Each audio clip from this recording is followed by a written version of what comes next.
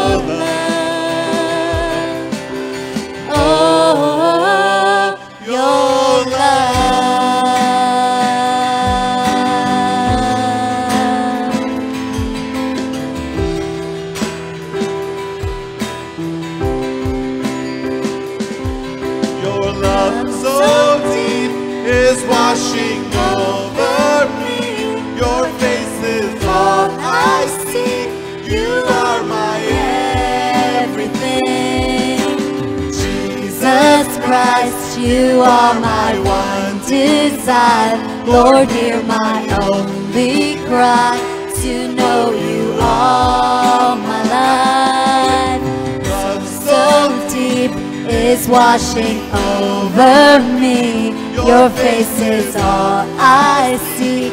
You are my everything.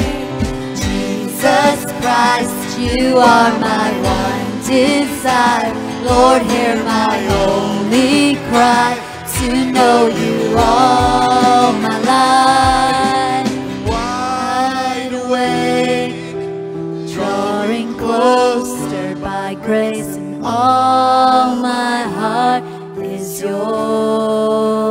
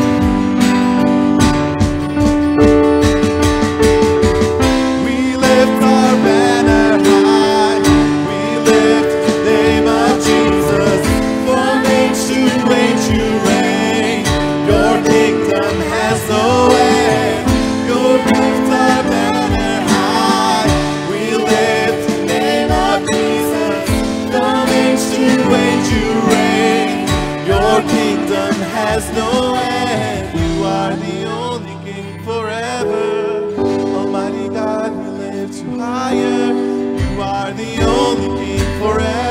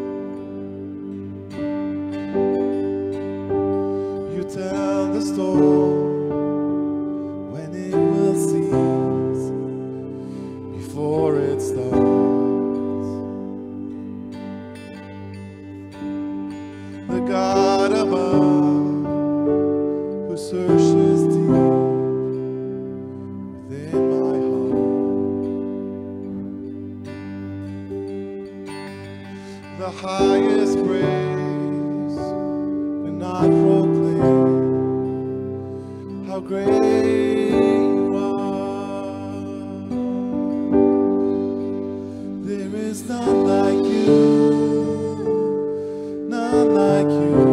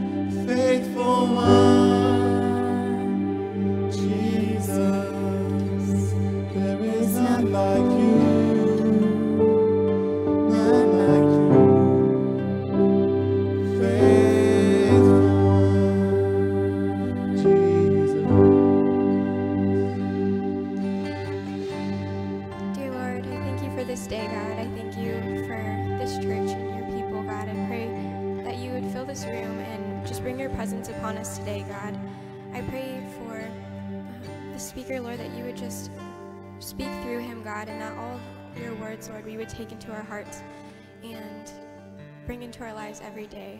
We thank you for all of the blessings that you've given us, God, and we love you so much. In Jesus' name I pray. Amen.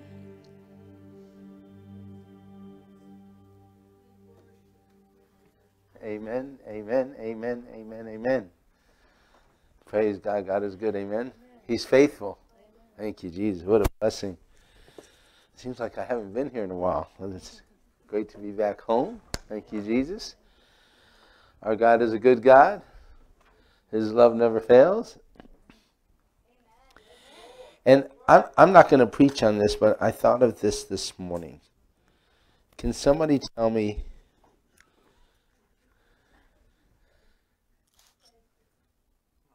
What is that? What is that? What's it remind you of? What does what does James say about our life?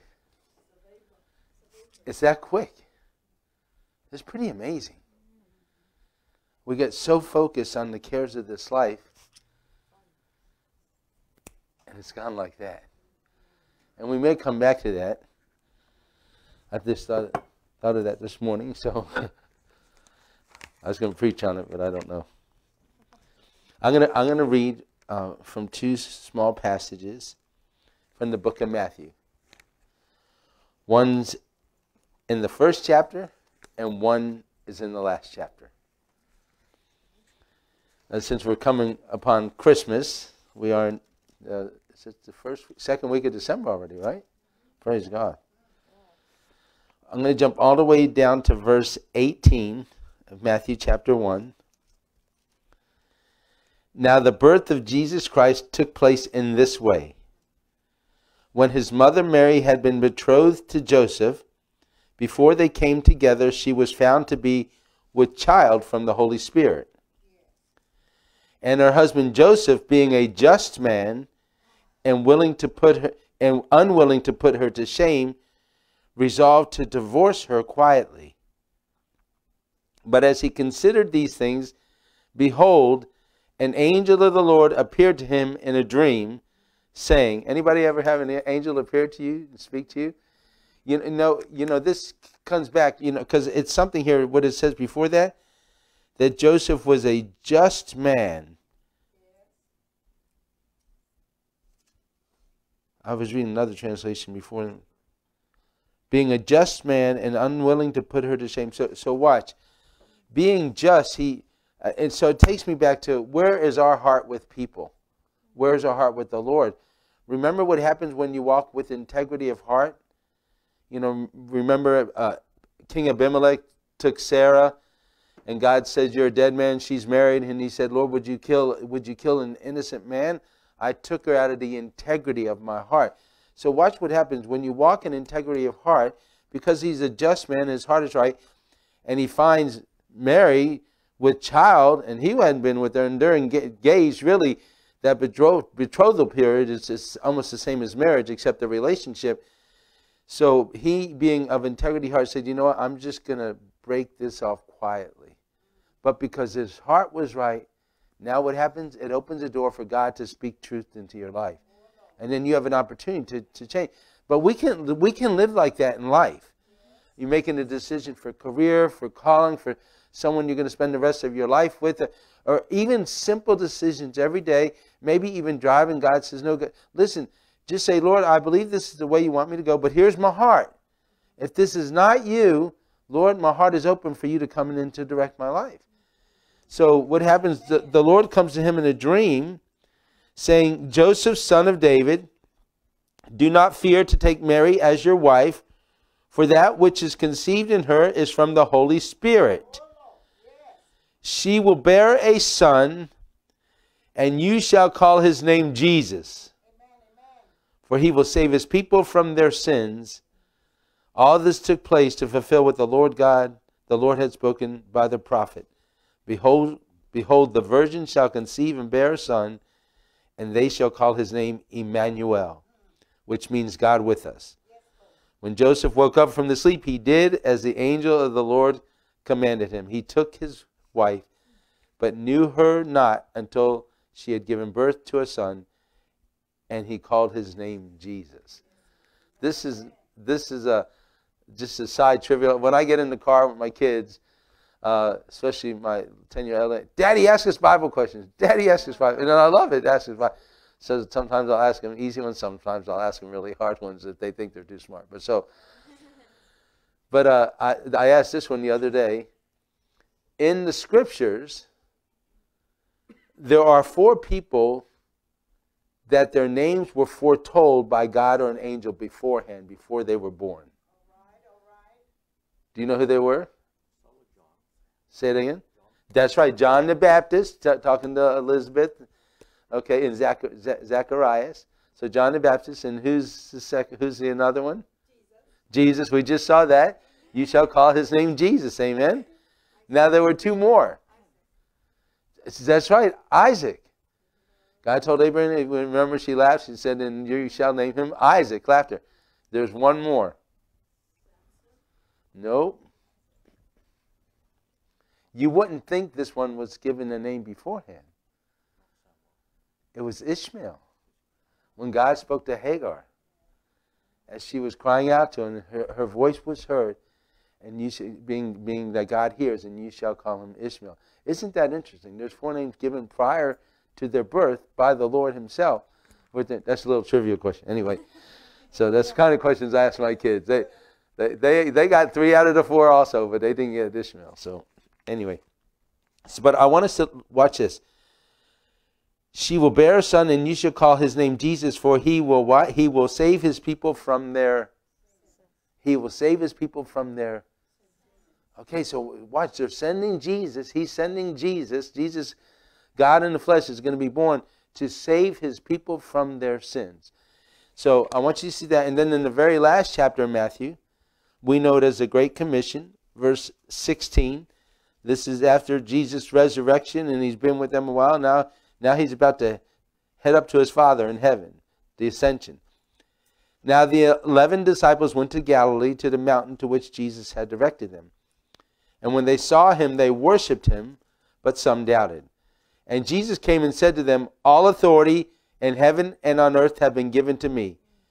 Go therefore and make disciples of all nations, baptizing them, them in the name of the Father and of the Son and of the Holy Spirit, teaching them to observe all that I have commanded you. And behold, I am with you always to the end of the age. So let's think about this a moment. Jesus is going to come to save his people from their sins, and before he leaves, he tells his disciples, Now go, go first, all authority has been given unto me. Go therefore. So now he's he's imparting us with that authority to go in his name to make disciples of all nations. Mark says to go and preach the gospel to every creature. So I want us to see this. Jesus came to save us from our sins. And the last thing he tells his disciples, now go. Go make disciples, go and preach the gospel. So it's no different for us. Jesus came to save us from our sins, amen? And we're still on the earth. Why? Because he wants us to touch other people's lives for eternity in the kingdom of God. So what's going on in the middle here? Well, watch this. If we need to focus on no matter what's going on, he wants us to make disciples and preach the gospel. Sometimes it's hard, sometimes it's rough, sometimes it's easy, sometimes injustice is done to us, sometimes we're we're overtaken with God's goodness and abundance and blessings, and sometimes we really struggle, maybe health wise, financially, relationship. Has anybody been there? But listen, if we still have breath, God expects us to declare who He is to this world. God, God wants us to allow people to know. I mean, the only thing we're taking to heaven's people. But in that process of telling, uh, so I, I guess First Thessalonians 4, what, what is the will of God? Watch this. The will of God is our, does anybody know the word? First Thessalonians 4, verse 1. The will of God for us is what? Our sanctification. Did you catch that? So we're born, we're born again when we say yes to Jesus. He has a calling, a mission for all of our lives. To the now, and we all do that in different ways. Amen. Some may pray, some may give, some may declare or preach. But everywhere we go, people should really see our good works that our Father in heaven may be glorified. Our good works may be blessing people. It may be walking in kindness, generosity. You know, it's interesting if we go back in Matthew. So what are, what are we doing during that process? If just in Matthew, uh, he says, love your enemies. Pray for those who persecute you. He says, when you pray, when you give, when you fast. What, so he, he's letting us know things we need to be doing that people can see who he is. Amen?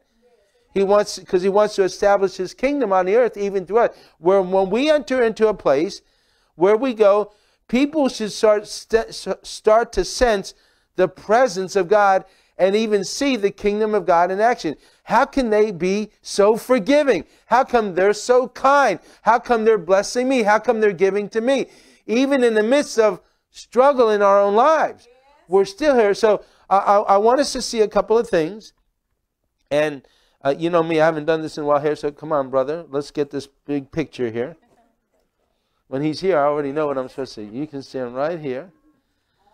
Because the first part, Jesus came to save us from our sin. So we remember, y'all, y'all should be able to preach these. So, but in the beginning is God and holy and clothed in glory, amen. And and He sends forth before even He sends His Son, His Jesus, even in the old covenant, He formed and fashioned man in His own image. And why did God make us? He made us for what? For relationship, for fellowship. This was the initial covenant God established with Adam. You understand what I'm saying?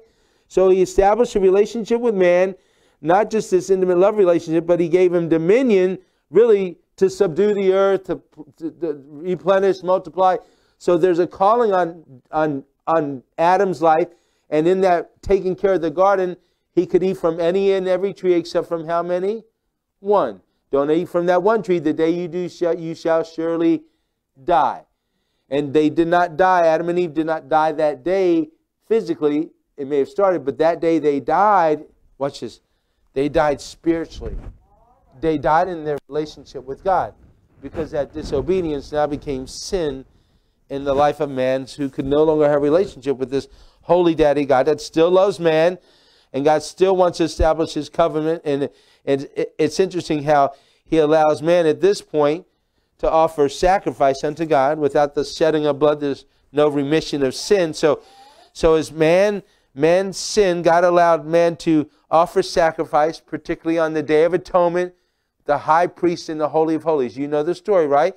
Well, and just so I can remind us, it's interesting, God would judge the sacrifice. Did you know that? That's good news for us, amen. And if God accepted, or, you know, uh, and saw that the sacrifice was good, He would allow He would allow that blood for a season to cover our sin. Why? Because he wanted to keep this covenant, this love relationship with man. But man continued to sin, so man continued to sacrifice. And then God, in his wisdom, as we just read, as he spoke to Joseph, you shall bear a child, and this born by the Holy Spirit, and you shall call his name who? Jesus, right? What's his name again? Jesus. And he shall save his people from their and that's what happened. Jesus became the Lamb of God and was sacrificed for our sin, his perfect, spotless life, dead and raised from the dead. And God takes the blood of his son Jesus. Does he cover our sin? No, because Jesus, the Lamb of God, what does he do? He, he takes away the sin of the world. Now he wants to cover us with his blood. And you should probably know the scripture by now. 2 Corinthians 5, the very last verse, 21 you talk about Jesus who knew no sin. It says he actually what? Became sin. So that we might become who? And man, I'm so glad you know that. So that we might become the righteousness of God in Christ Jesus. And just to encourage us before I go on from here, uh, well, Jesus became sin, but no sin in him. What's interesting, watch this. The wages of sin is death. That's why Christ died. He took our sin, He took the sin of the world. Our sins have already been paid for. Amen? We're going to have to understand this picture to really go on with Christ. Our sins have been paid for. It doesn't mean we don't sin, but our sins have been paid for. Amen? So, so we, I want us to see that Jesus, who knew no sin, became sin that we might become the righteousness of God. But though Jesus became sin, there was no sin in him. So when Jesus rose from the dead, he overcame hell, sin, death, and the grave. Amen. And he's the Lord of God. And I love this. And he, he sealed eternal life. Amen. Ephesians says we're sealed unto the day of redemption. Jesus says nobody can take you from my hand. Nobody can take you from my Father. So I want you to see this picture. When you receive this gift of salvation, Jesus doesn't uh, force it on anyone. It's a gift. Though he's taken and paid for our sin, now he, the wages of sin is death, but the gift, free gift. Say free gift. Some of you, it's, it's, it's, it's, it's free for those who receive it, but how many of you know it's not free to pay for it? Somebody has to pay the cost. Anybody here do any Christmas shopping? Yeah? You're a wise man. He doesn't. So, but, but when you purchase a gift, you're paying for it, right? Now the one you're giving it to, they receive it, or or they take it back. Or I mean, no. So, but but listen, this Jesus paid the price for our salvation, but it's a gift, and each one of us must receive this gift. Every person. Now, God doesn't force it on anyone, and nobody can receive it for you. Your mom, dad, pastor, preacher, church, teacher cannot receive this from me nor for you. I must choose and you must choose. So when you choose, when you when you believe on the Lord Jesus Christ and, and you confess with your mouth that God raised him from the dead, the Bible says that you would be saved. What do you mean saved? It means you receive the gift of salvation. So when you truly believe and confess, you believe and you confess with your mouth that Jesus is Lord, this is how you receive this gift. So not only has Jesus saved you from your sin, now you receive the gift of salvation, righteousness, that you are delivered from your sin. Amen? It's a choice that you make. Now, uh, before I go on, I want us to see this picture because I, I, I'm in enough places where I don't think we understand this. If you read in Hebrews 5, watch this. He says, starting at verse 11, the, the writer says, I want to tell you more, but I can't. By now you should be teachers but you still need someone to teach you the elementary truths of God's Word. He says, You're infants, you're babies, and you still need milk. And then he says, Why? He says, Because. So, why are these Christians that uh, over a couple decades have been walking and they haven't grown or they've fallen and haven't gotten back up? He says, Because, watch this. He says, Because you are not acquainted with the teaching of righteousness. See, listen, until we understand who we are in Christ, who Christ is in us, that He has actually taken our sin and has now offered us a gift of righteousness, until we see this, you will not grow. Because what happens when you blow it and you sin, all of a sudden, condemnation, guilt, and shame keeps you from rising back up. Has anybody ever been there? We beat. I mean, I used to beat myself up because I see myself as this when I blow it. I still I see myself as a sinner. I'm unworthy. And and and, and here's a big thing. I was speaking in church. I said, so many of us think that our sin is more powerful than the blood of Jesus. Are you kidding me? Are we serious? You think you're so much more your sin is so much more powerful than the blood of the Son of God? I can imagine the Father in heaven, Jesus going, Are they, uh, what's wrong with them? We, I gave my life. He took our sin. Even when I blow it, I'm still God's child, God's son. And until we understand this, we don't grow. Until we truly understand it, it's hard to repent and get back up. You know, I, was, remember I was preaching uh, preach at this church way on the past the north side of Houston, and I'd been there several times, and I'll never forget. Um, I, they called me again, and I, maybe I preached ten times there. And the associate pastor calls me, and he says, "Salem, uh, I, I, just want you to know we, would like you to come such and such a date again. Yeah, okay. I worked. He says, and then he says something. He says, I want you to know that you and Pastor so and so are not on the same page. I said, well, What do you mean? He says, Well, you when every time you do your your scarf illustration, you're you you you're you're really saying to us there's the there's the security of the believer and there's assurance of salvation. I said, Well, yeah. And then he says, Well, they don't believe that here. I said, Well, what do you mean? He says, well, they believe you can lose your salvation, that it can be stolen. And I said, Why are you telling me this now? I mean, you guys keep having me come preach. He said, Well, we really like you, and everybody always gets saved. I said, I guess so. They're getting saved again and again. I don't know. so, so, I, so I, I was kind of disturbed. Well, why did you tell me this? And, and, and you know, I, I, and I've shared this before, and I said, Lord, help me. I, when I go, I still want to share, but I, I want to deal with this in a way that maybe they can understand. So they believe that you can lose your salvation. And scripturally speaking, and I know there's big debates on this, and I'm, I'm not going to get into it, but it's very clear you, that you actually can lose something because in Revelation 3, remember, Jesus says, Behold, I'm coming quickly. Hold on to what you have tightly. See to it that no one steals your crown. So your crown can be stolen. I don't know if I have a crown with me or not today. I, have had to undo this. I wasn't planning on this. I don't see it. But anyway, if I had a hat, I, I put them on here, but it's not in this. Oh, that's eternity there. So, okay, so, so, so, so, so watch this. So you can actually receive a crown. And we've talked about the five crowns the crown of life, the crown of glory, the crown of righteousness, the crown of rejoicing, and there's another crown that doesn't slip my mind a second. But, but watch this. It's possible to lose that crown because in Revelation 4, the elders that have crowns of gold, they, they, they, they lay them at the throne of God, at the feet of Jesus. So, but watch, they're all dressed in white. So once you say yes to Christ, you really believe that Jesus paid for your sins, and you're willing to confess with your mouth that Jesus Lord, you receive this gift. You're a child of God. Now, God has a mission and a calling for our life, and it's this fast.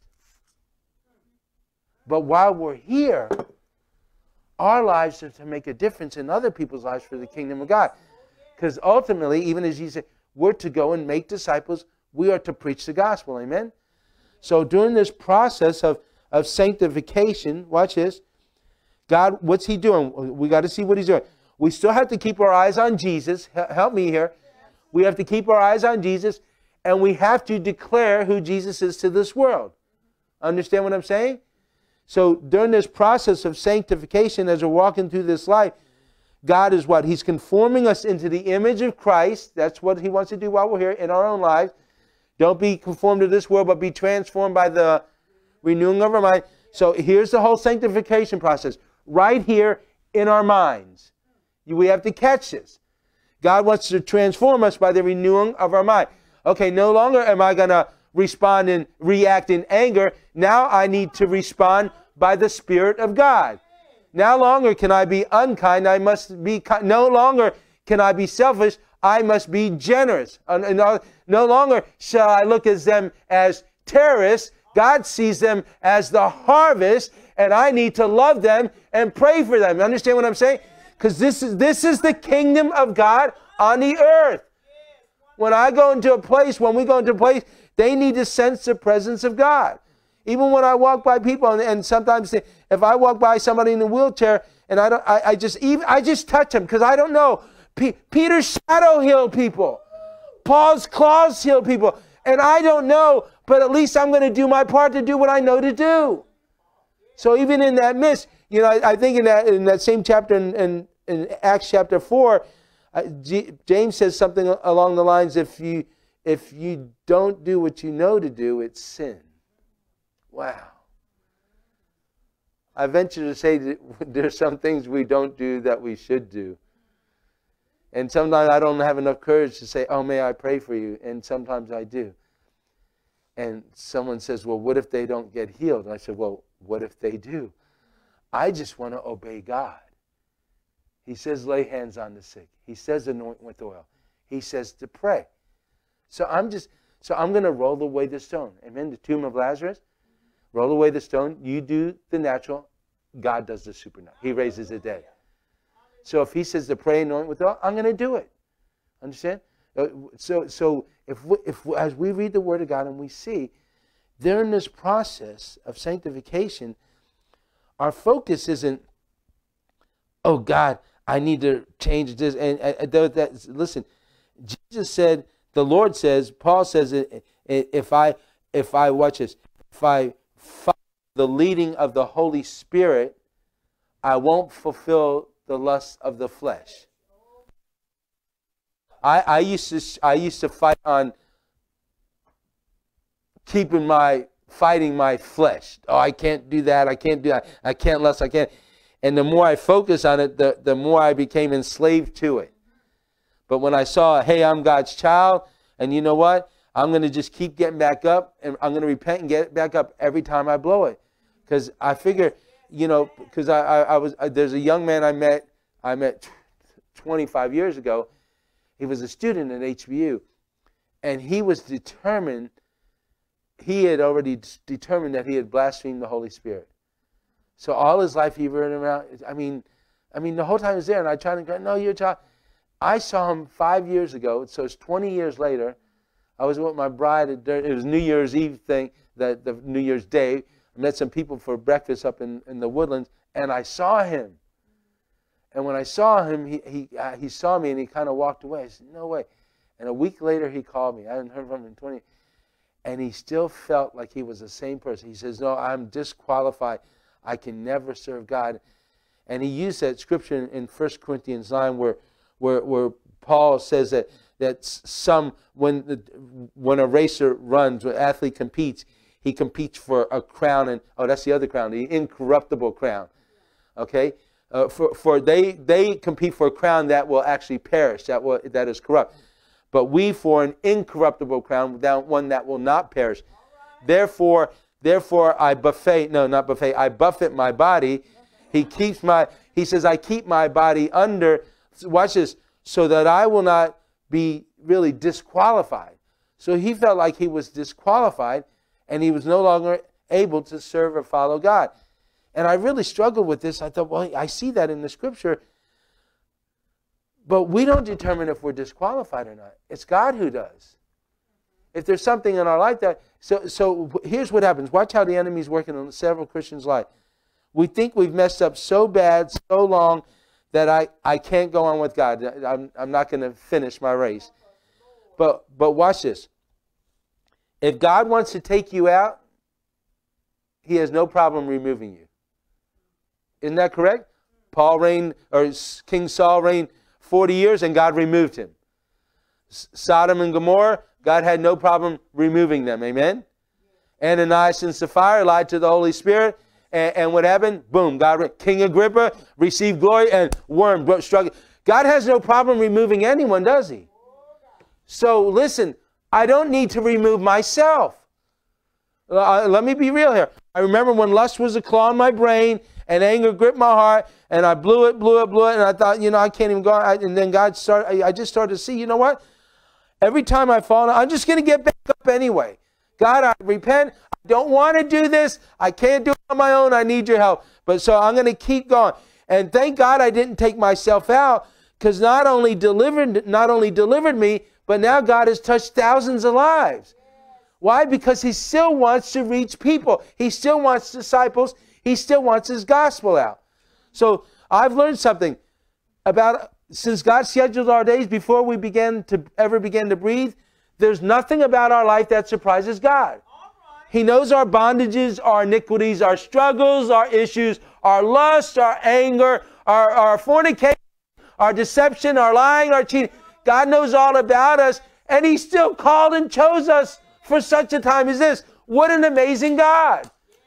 So if we'll receive this gift, knowing that Christ has paid for our sin, watch this. Now I have a mission to proclaim this good news to the world. And during that process, as God sanctifying me, if I fall and get and mess up, I'm quick to repent and get back up. And if I, I've learned something. Pretty much every morning when I wake up, I go, and, and I'm breathing. I thought, oh, I guess God's not done with me. And we need, and listen, we need to live like that. If we still have breath, and, and just by the Holy Spirit before we pray, often in this life, injustice is done to us. But our focus still has to be Jesus and the kingdom. Look at Joseph, abused, rejected, abandoned, lied about. And when he had an opportunity to sin, he said, Watch his focus. He said, How can I sin against my God? His focus was still the kingdom of God. Opportunity to compromise, whether it's Daniel, Shadrach, Meshach, Abednego, uh, they didn't. They would not deny their God, and it got them in the worst trouble. Fiery furnace, a lion's den, but what did God do? God turned that around, didn't He? Not only spared their lives, but all of a sudden the kings go, oh, their God must be the real God. So, how will we respond in this life as we listen? You already know you're God's child. You know you're going to heaven. God wants to use you to touch other people's lives. And during this life, the cares of this life, the deceitfulness of riches, the lust for other things, the, sin, the iniquity, the bond, the fight of the flesh, God, none of that surprises God. Let's just keep on going, keep repenting, keep getting back up and thinking, you know, I'll, I'll, I'll say this and I really will pray. I remember I was at a 20 year class reunion at my high school in Florida, Deerfield Beach High School.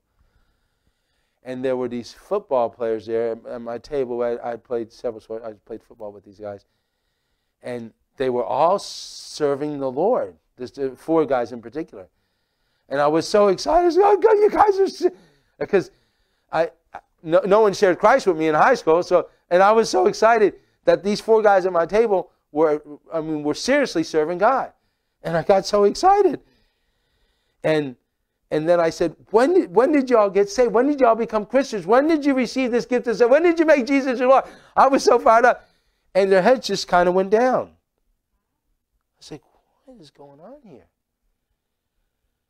And one of the guys, Lou, goes, um, well, Salem, we, we, we were saved in high school.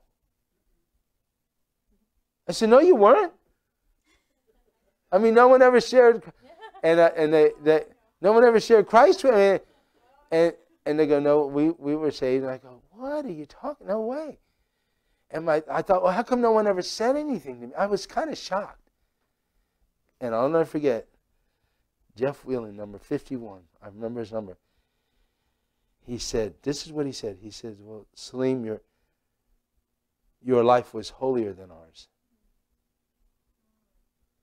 You know, I was Muslim. I was praying, fasting, loving, honoring, obeying my parents. No alcohol, no cursing, no drugs. I mean, and they were partying. But because of their lifestyle compared to my lifestyle, they never shared Christ with me. And I get it. But even when you mess up, let God's good news still be sown. You hear what I'm saying? Because that, that, that message, it, it's, it's interesting. The seed, God's word is truth. Maybe this farmer doesn't believe in it, maybe that farmer does, but that seed determined on what kind of soil or heart determines the harvest of that. So even if you aren't serving the Lord fully at this point in your life, don't be afraid to sow that seed because uh, uh, I'll say I'll say it like this. I wouldn't a message, but remember they said to Paul, well, so, some people are are there. Paul's in prison. They said some people are, are preaching this out of selfish ambition, envy, jealousy. They were preaching God's word and they weren't genuine in their faith. And Paul says, I'm just glad the gospel is being preached. Isn't that interesting? Because I always thought how can those people that stand before God and he says, Depart from me, and he puts them on the left hand side, and, and, and how can they say, Well, Lord, Lord, we've prophesied in your name. We've done these miracles. They've done these, we've raised the dead. How can they do those things but never really know him? Does that make sense to you? Because it's not them. Because what? Maybe I don't believe in this gospel. But if I tell you God loves you and Christ died for you and rose from the dead, and you believe it, even if I don't, you can receive that seed and get a harvest in your own life. Amen? So, so think about it. So whether it's out of selfish ambition, envy, and that's that's that'll be judged between the Lord and that person during that process. But that doesn't change the power of the seed. Because how can he say, How can I do miracles? How can I prophesy and do it in his name? And he says, Depart from me, I never knew you. Well, because maybe I didn't, but that seed still had life. God bless you. So, and I'm, I'm, I wasn't planning on going this, but I just want you to think. Sometimes we think, well, I'm unworthy and I'm not worthy enough. And granted, our focus needs to allow God to do what He wants to do in our life in conformance to the image of His Son. But don't rob this high school football player even an opportunity to hear the gospel, the good news of Christ, because you're not worthy enough to sow the seed. If not, then just drop a track. you understand what I'm saying? Leave something with me that God can start working in my life. Amen. Father, thank you for your amazing grace and love. Lord, I thank you. We thank you that you sent Jesus to save us from our sins. And Lord, your blood has and is much more powerful than our sin, so much that you've taken our sin and you've offered us this gift of righteousness, this gift of salvation, this gift of eternal life. And Lord, we said, and maybe you're listening now, maybe you know you need to receive this gift of salvation. Just say, God, I believe in my heart that you raised Jesus from the dead. I do believe he paid for my sin. And Lord, I will confess with my mouth that Jesus is Lord. Jesus, I ask you now, make me the Lord. I ask you to come in and be the Lord of my life. Thank you for saving me. Now, Jesus, I know you got a plan for my life. And I know you want me to make disciples. I know you want me to preach the gospel. So, Lord, help me to keep my eyes on you. Help me to focus on the kingdom of God, on eternity. And Lord, as I go, may I, I allow you to sanctify me more into the image of your Son. But Lord, even when I blow it, I know that you love me and I'm still yours. You said you never leave me nor forsake me, and you're with me to the end of the age. So, Lord, I repent and I'll get back up every time and let this, this world know that Jesus is Lord. Lord, seal this in our hearts by the grace of God. In Jesus' name. And all of God's people said, Amen. Thank you. Hey, give my bro a hand. I thought he did awesome. Thank you.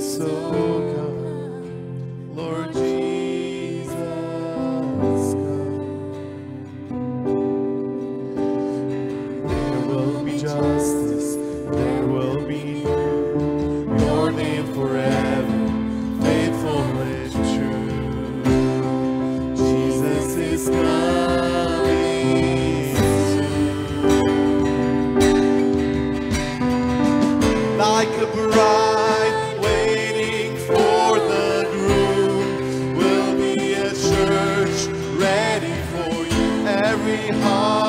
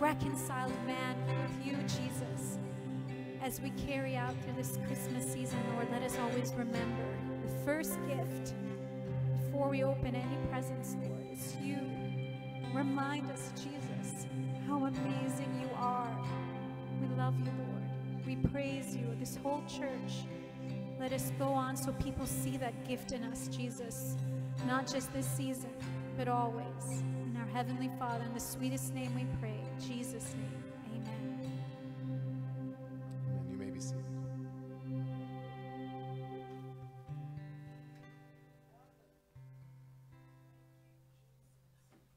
Good morning, everybody. As we uh, offer the Lord our tithes and offerings, uh, we've got a few announcements to make. So, talking about the upcoming events. All right, so we've got a Christmas celebration by Agape worship team. Thank you, Lord, for all of you for a wonderful worship today, and we look forward for you going all out for that worship team. So that's Sunday, December 23rd, 2018, 10:30 a.m. So special service. Thank you, Lord. Um, this was great. Look forward to see what's even better than one. So Lord bless you all. All right, we got the church Christmas bake sale. Lots of things happening on December the 23rd. So this is before and after the Christmas services. So again, donations, variety of baked cooked. Oh, that's even better. So the bakes are going to be done by you. So we'd look forward to seeing that, and that'll be an extra incentive for us to donate and participate. So thank you, everybody who is going to be baking. Thank you in advance. Lord bless your work. Okay? Uh, home groups. Uh, we've got the men's and the women's home groups that are um, 7.30 p.m. respectively. Um, I know our co-ed group is um, in Christmas break, but this coming Sunday, um, we're having a little get together. You don't have to have come. We'd love to have you come over and join with us. So Lord bless you all. Participate in the home groups. Okay. Power of God's Names by Tony Evans is still going on. This is church-wide ladies Bible study. When I say church-wide, that means Agape and ACH. So we encourage ladies to go and enjoy and learn more about the power of God's multiple name. Next one, please. All right, church online. The church is available on each and every electronic means.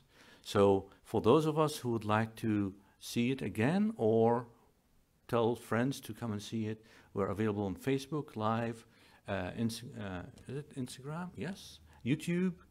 So look for it. We're on all of them. So God bless you there. Anything else? And if you are new, we would love to meet with you at the front in the foyer.